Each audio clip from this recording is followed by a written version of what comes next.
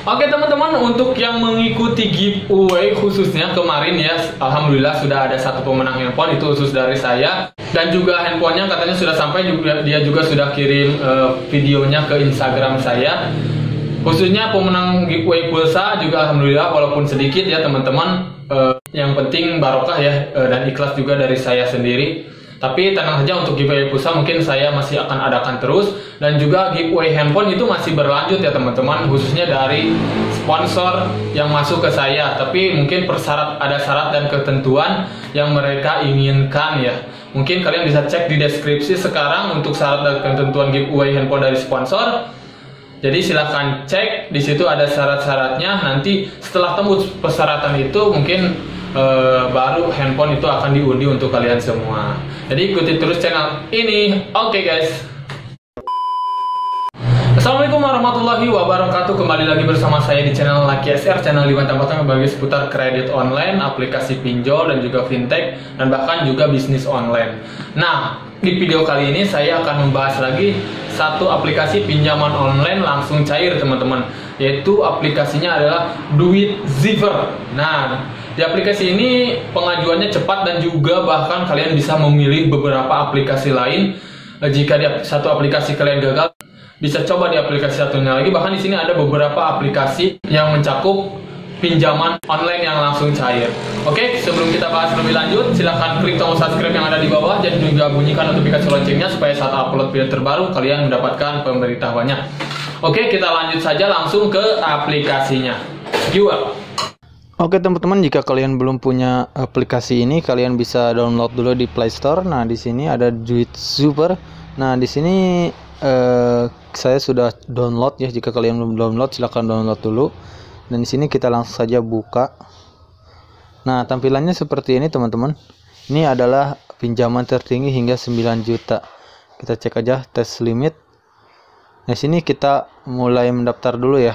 Ini adalah satu aplikasi yang mencakup beberapa aplikasi di dalamnya. Kalian bisa cek. Sini ada punya duit KSP type pulau burung fulus KSP dan lainnya di sini pun dipilih ini banyak sekali ya teman-teman di sini kalian bisa pilih pinjaman mana yang ingin kalian coba pinjam kita coba dulu Nah, seperti ini misalkan ini KSP Bintang Nusantara Sejahtera. Di sini pinjaman mulai dari 1 juta dan tenor hingga 130 hari. Dan ini eh, total pengembaliannya menjadi 1.039.000. Itu ada termasuk bunga admin. Ini lumayan eh, ringan juga bunganya.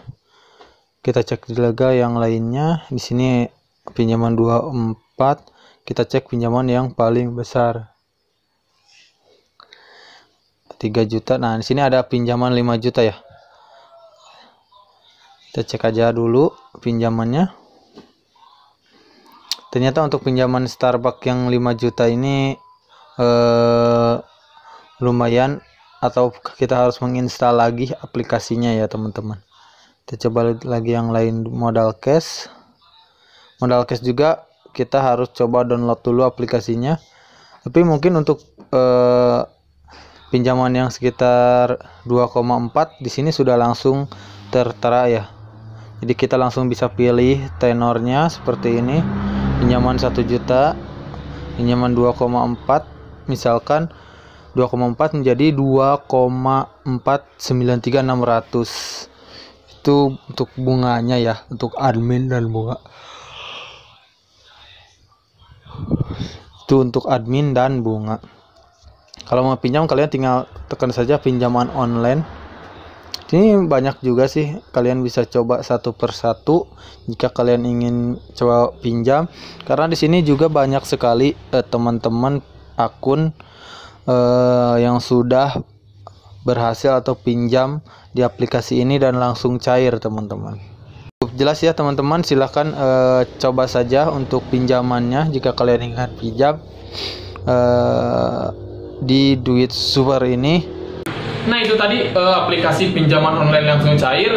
Mungkin untuk saran saya gunakanlah aplikasi pinjaman online ini secara bijak. Jangan sampai kalian istilahnya menjadi pengikut aksi gagal bayar kalau menurut saya. Karena mungkin untuk pinjaman online ilegal itu memang tidak masuk ke ranah hukum. Bahkan dari Satgas Waspada Investasi pun menyarankan pinjamlah ke aplikasi pinjaman online sebanyak-banyaknya dan jangan dikembalikan supaya mereka bangkrut ya. Tapi eh, kalau saran saya jangan seperti itu karena akibatnya mungkin ke diri kalian sendiri. Mungkin itu saja sih. Terima kasih banyak.